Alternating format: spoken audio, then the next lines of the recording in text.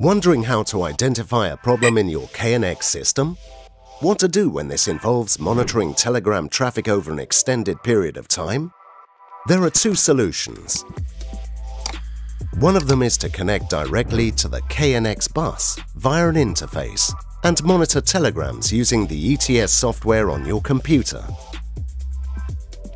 Once launched, the program will record all events that have occurred in the system and you will be able to keep track of what is happening. Each recorded telegram is labeled with a timestamp. Priority, address and name of the device that sent the telegram, as well as the type of event. If the system does not work as you expect, you will be able to pinpoint the cause and replace the faulty component or reconfigure the system. However, if you need to monitor the KNX bus for an extended period of time and you cannot leave your computer at the customer's location, use the second, far more convenient method. Make use of the portable KNX USB interface. This device, like an ordinary interface, is designed to enable communication between the computer and the KNX bus. However, it comes with an additional feature, the ability to record events the KNX USB reads all telegrams sent over the bus and stores them in its memory. You can connect the device directly at the distribution box or at any other place where the interface can be connected to the bus.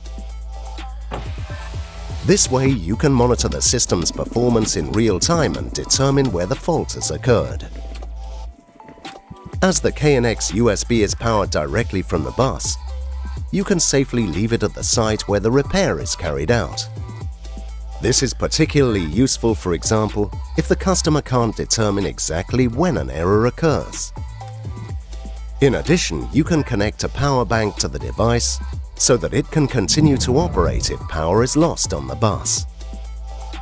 Information about the power failure will also be recorded in the interface's memory.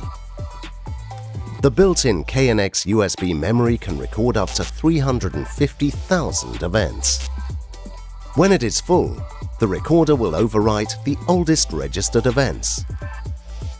You can import the collected data in XML format into the ETS software and the data in CSV file into Excel. By doing so, you will be able to organize and filter recorded events. This way you can accurately trace all recorded communication between devices and determine the cause of the occurring error. As a result, you will quickly make the necessary adjustments. KNX USB, designed to make your daily work easier. Are you looking for more solutions for creating KNX systems? Discover them on satel.pl/knx.